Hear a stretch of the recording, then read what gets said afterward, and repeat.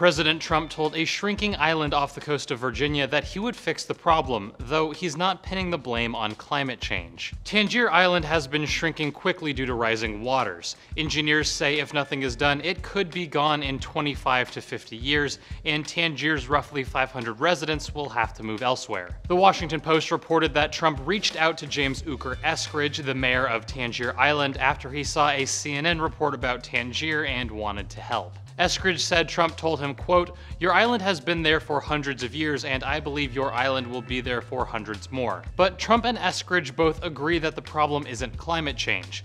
Instead, they say erosion is eating away at the island. Tangier already built a seawall on the island's west side, which residents say fixed the problem. But a lot of extra funding is needed to wall off what's left of the island, and experts say that may not help.